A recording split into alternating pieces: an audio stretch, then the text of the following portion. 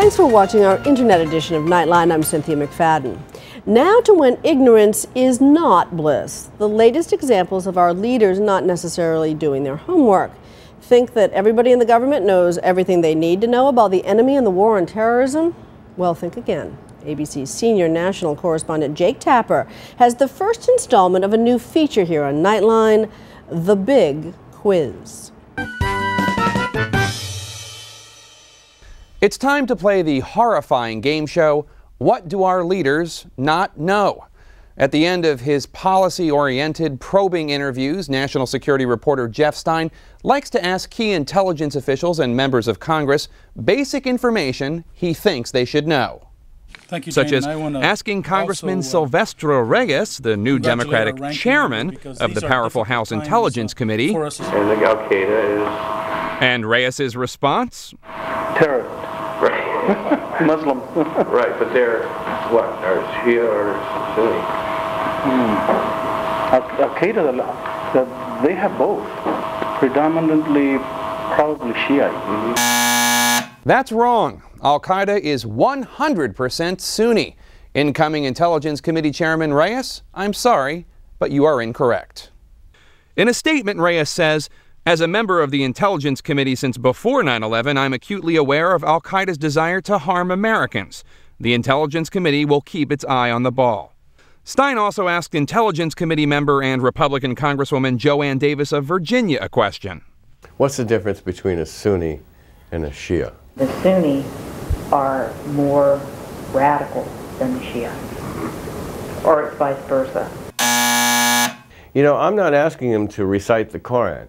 I'm asking them to define the major political groups in the Middle East. The issue seems to touch at a larger problem. How many fluent Arabic speakers does the Iraq Study Group say are in the U.S. Embassy in Baghdad? 600? 60? 6? Stein says he got the idea to find out what top intelligence officials do not know after hearing about the 2004 deposition of Dale Watson, the former assistant director for the FBI's counterterrorism division.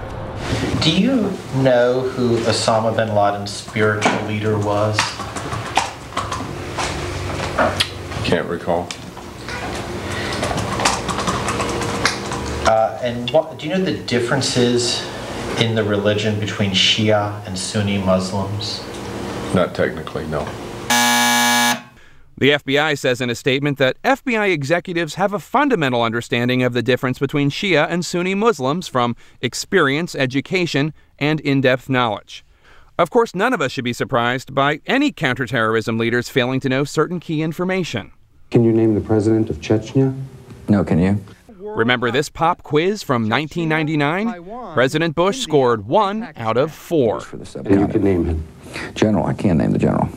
And it's General. That would be General Pervez Musharraf, a name the president learned soon enough. And, by the way, he's Sunni. This is Jake Tapper for Nightline in Washington.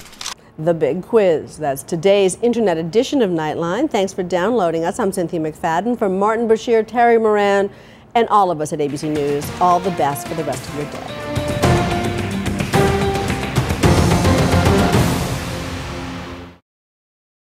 The president was hit. He is in stable condition. It is the worst disaster in the history of the American space program. I've never seen a royal wedding like this. O.J. Simpson wanted on two counts of murder. Relive the most dramatic days in history with ABC News. Download The Day It Happened today at iTunes.